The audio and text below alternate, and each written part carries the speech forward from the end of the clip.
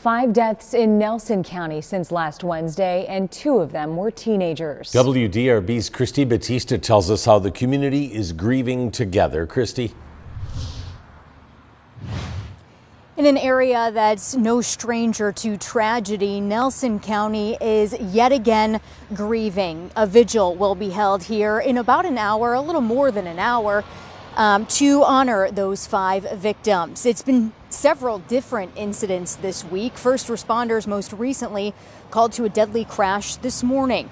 A 13 year old was found unresponsive over the weekend. A 16 year old died in a crash. A family friend says the young girl was an organ donor and was able to save lives in her death. Everyone knows everyone here in Nelson County. The sheriff told us today he was neighbors with that girl and her family. So it's been a tough week for many people here, even those first responders. No call is ever really easy for them, but it's especially difficult when children are involved.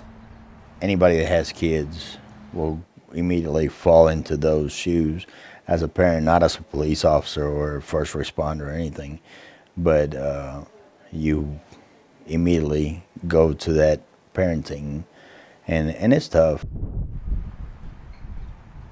And the sheriff says it's it's always amazing to him when people in this community come together, and that is exactly what's happening tonight. The vigil is going to be held at 6:45 here, right outside of the Nelson County Justice Center. With photojournalist Jonathan Mickember, I'm Christy Batista, WDRB News.